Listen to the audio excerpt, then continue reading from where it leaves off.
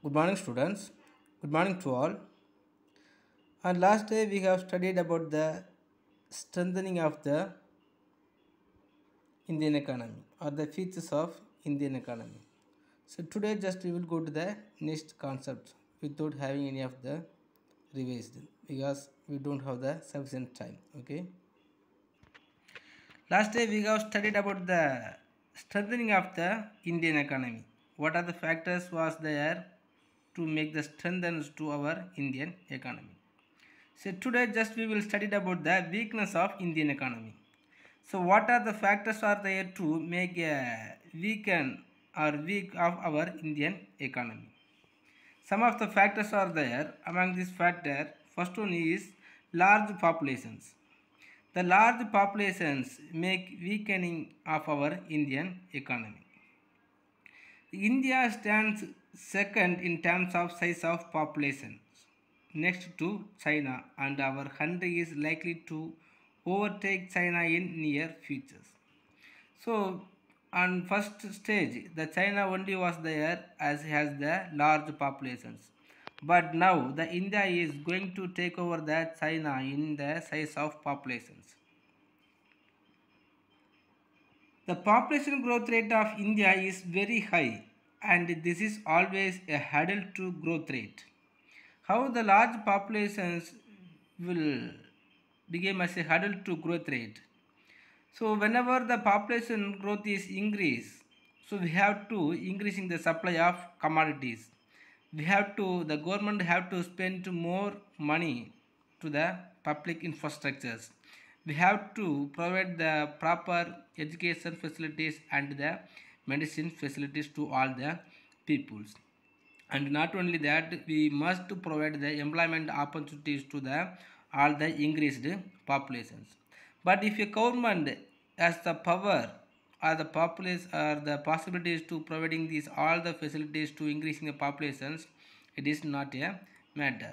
But if the governments are not having the power to providing all these facilities to the increased populations so the populations the large populations will become as a weakness of Indian economy weakness to the Indian economy. The Indian economy will never increase or get the growth with the large populations. The population growth rate in India is high as 1.7 per thousand. The annual addition of population equal to the total population of Australia so Australia when we are comparing to the Australia our increased populations in every year is higher. So every year our increased population is very higher than the total population of australia. Then just you can think how the populations become as a weakness of indian economy. Next inequality and poverty so there exists a huge economic disparity in the indian economy. Huge economic disparity mean so in our indian economy the different type of the population different type of the peoples are there. The rich peoples and the poor peoples. And always the inequality will be existing among these two type of the persons. And not only that the poor people always become as a poor and the rich people always become as a richest persons so the proportion of income and assets owned by top 10 percentage of Indians goes on increasing. So most of the peoples always being as a poorest and the 10 percentage of the peoples only as a population or uh, richest peoples and most of the income also fell into that persons only. So this has led to an increase in the poverty level in the society and still a higher percentage of individuals are living below poverty line. So even though if we are earning more money, so we cannot improving our living standard and because of that so many of the people also lying in the poverty situation itself. As a result of unequal distribution of the rich becomes richer and the poor becomes poor. Next, increasing price of essential goods. Even though there has been a constant growth in the GDP and growth opportunities in the Indian economy, there have been steady increase in the price of the essential goods. The price of the essential goods must be as a constant. Then only all the peoples or the middle class peoples and the poor peoples can able to purchasing that essential goods. But if it is not steadily constant and if it is the increasing price level of the essential good is going up the poor people and the middle class peoples always will be getting the trouble. The continuous rise in price erodes the purchasing powers and adversely affects the poor peoples whose income is not protected. Some of the fixed income peoples and the poor peoples also will be affected by the way of increasing the price of essential goods. Even if they are not having the interest to purchasing the comforts and the luxury goods they will have in the need of purchasing the essential goods. But if the price of the essential good is increased so the peoples will always struggling. And because of that they will not having the savings interested and the power of savings. So our economy will never get the more capital formations and next weak infrastructures our infrastructure facilities also may have very weak so even though there has been a gradual improvement in the infrastructural development in the past few decades there is still a scarcity of the basic infrastructure like power, transport, storage, etc. also very low. So when we are having the low or the weak infrastructure facilities, we will never abstract the foreign direct investment. And the foreign investors also will never come to our nations to make any of the investment on any of the particular industries. So they will always expect the high infrastructure facilities but our Indian economy also has one of the problem to make a major infrastructure facilities. Next, inadequate employment generations. With growing youth populations, there is a huge need of the employment opportunities.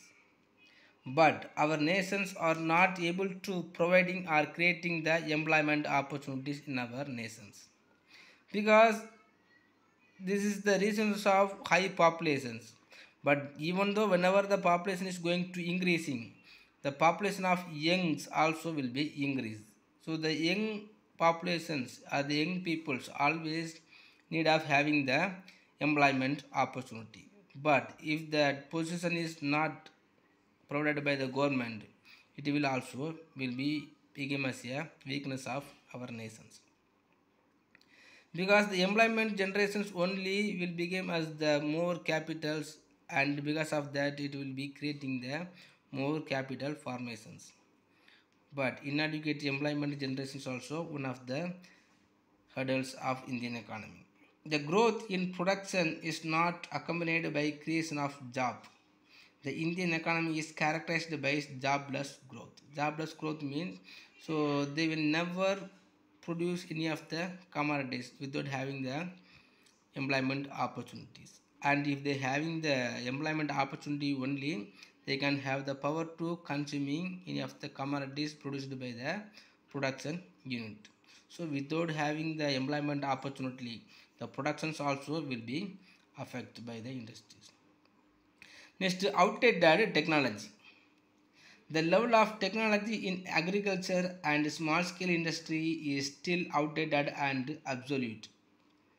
So the some of the outdated technology only is going to use in the agricultural sector and even in the backward industrial sectors.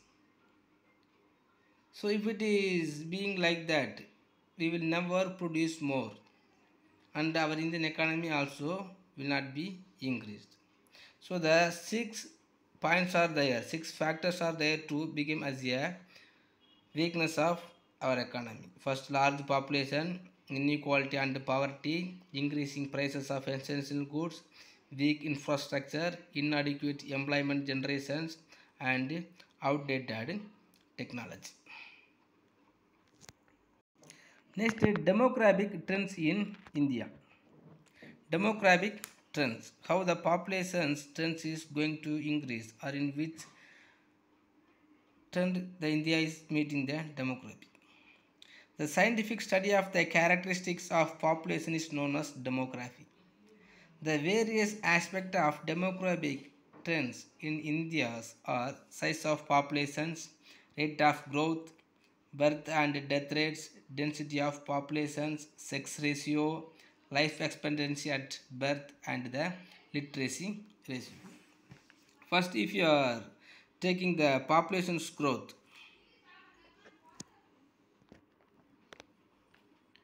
So, over a period of 100 years, India has quadrupled its population size. In terms of size of populations, India ranks second in the world after China, as we know already. India has only about 2.4 percentage of the world's geographical area and contributes less than 1.2 percentage of the world's income but accommodates about 17.5 percentage of the world's populations. But when our surface is highly expand, we will have some of the accommodate 17.5 percentage of accommodate we can bring it.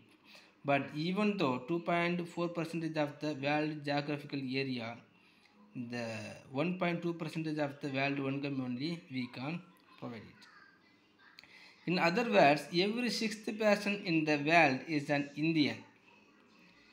How? The every sixth person in the world is an Indian.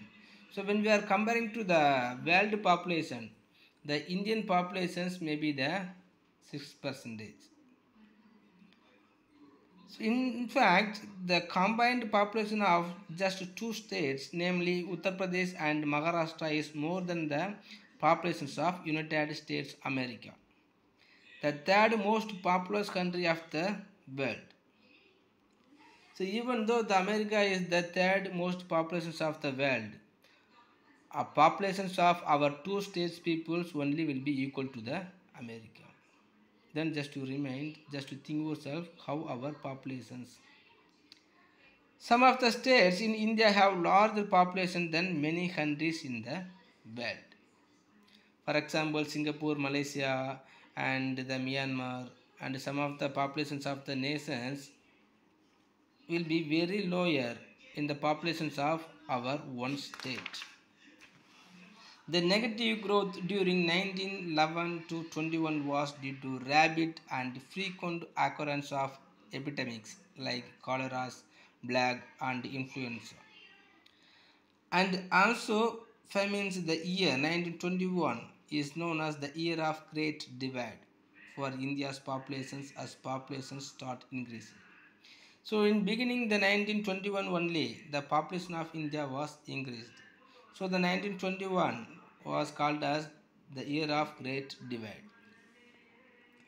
So next that during the 1951 the population growth rate has come down from 1.33 percentage to 1.25 percentage. Hence it is known as year of small divide. The population was decreased. So after that in 1961 the population of India started increasing at the rate of 1.96 percentage to 2 percentage. Hence the 1961 is known as year of population explosions. So just you have to remind the three years the 1921 is known as the year of great divide and the 1951 the year of small divide and the 1961 is the year of populations explosions.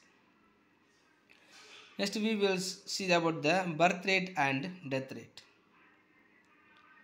So the birth rate and death rate. The birth rate refers to the number of birth per thousand of populations.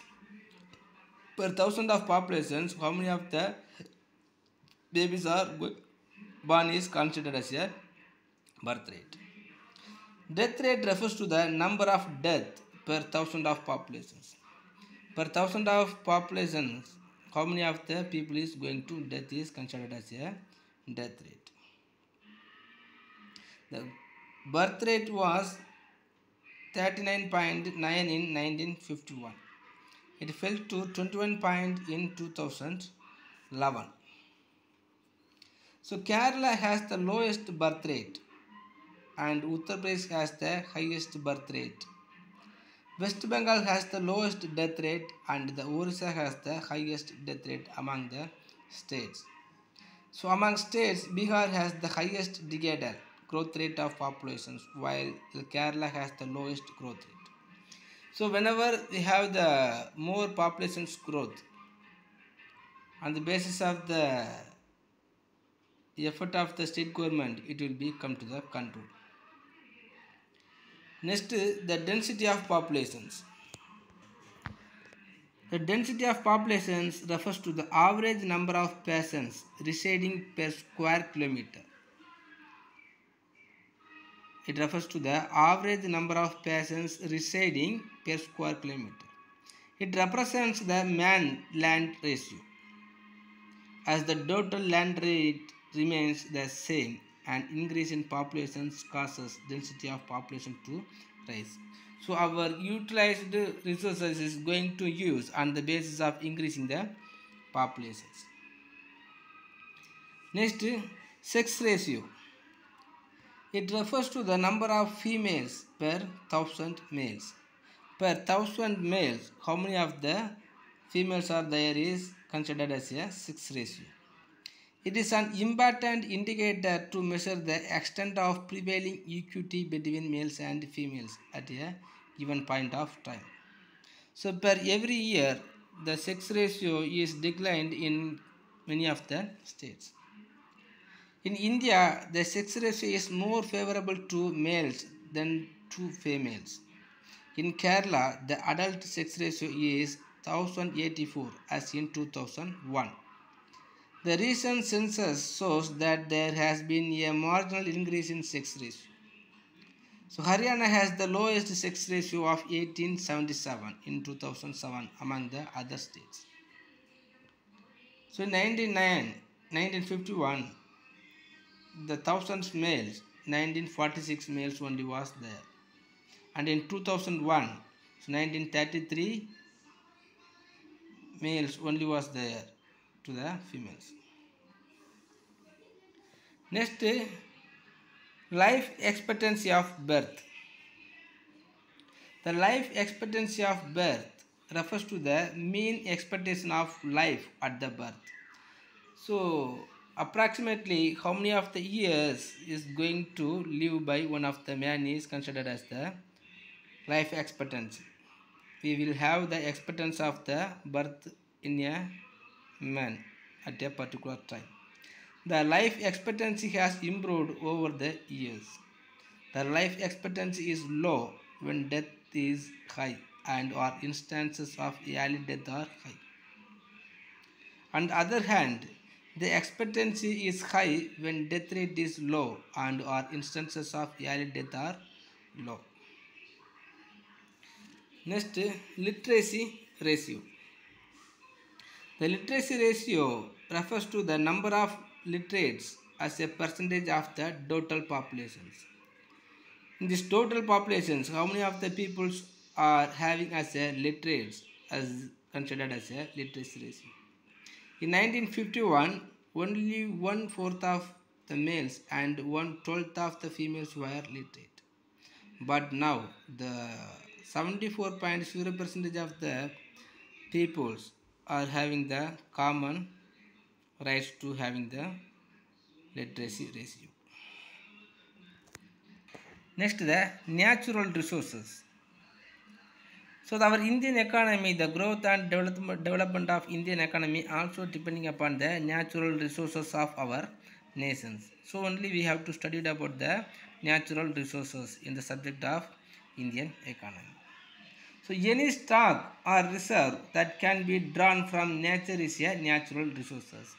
If we can extract any of the resources from the earth or natural is considered as a natural resources. The major natural resources are land, forest, water, mineral and energy. The India is rich in natural resources, but majority of the Indians are poor to use and extract the sources from there. The nature has provided with diverse climate, several rivers for irrigations and power generations, rich minerals and rich forest and diverse soil. Next, the types of natural resources. So we can broadly classified the natural resources as a two types. First one is renewable resources. The renewable resources that can be regenerated in a given space of time. For example, forest, wildlife, wind, biomass, tidal, hydro energies. So this type of the resources are we can regenerated with a particular time. Next one is non-renewable resources. The non-renewable resources means it cannot be regenerated. For example, fossil fuels, coal, petroleum, minerals. Once if you are taking from the natural and if it is used, we cannot regenerate. And the two most of the major resources is land resources and forest resources. In terms of area, India ranks 7th in the world with the total area of 32.8 lakh square kilometer. So, however, the land man ratio is not favorable because of the huge population range. If the people has more area for their cultivations, for their productions, so our Indian economy has the chance to increase the growth. Next, forest resources. So, India's forest covers in 2007 is 69.0 million hectare which constitute 21.2 percentage of the total geographical area. And some of the important mineral resources. So there is no need to explaining more. Some of the mineral resources are there. So students please you can study yourself. If you have any doubt please ask me. And just i am telling the what are the resources are there. So iron ore coal and lignite and bauxite, mica and crude oil and gold and diamond. So India possesses the high quality iron ore in abundance. The total resource of iron ore in the country are about 14.63 million tons. So wherever the availability of the iron ore is there main. so the Karnataka and Kerala and Tamil Nadu in Andhra Pradesh. And gold and lignite the coal is the largest available mineral resources. So India ranks third in the world after China and USA. So the availability of the coal and lignite in our India is Bengal, Bihar, Madhya Pradesh and Maharashtra, Odisha. And bauxite. The bauxite is the main source of metal like aluminum and major resources are concentrated in the east coast bauxite. Next, to the gold. The India possesses only a limited gold resource, and the Kolar gold field, Kolar district, and in the Andhra Pradesh, the Ramgiri gold field is also one of the unknown other known place to deriving the gold. Okay, students, as I told, if you have any doubt, please ask me. Just some of the types of mineral resources only is there. If you have any doubt in this weakness of indian economy just please ask me. And after that everything it is the information only. So there is no need to explaining more. When you are seeing the tables and the example only you can easily understand. Okay student. Thank you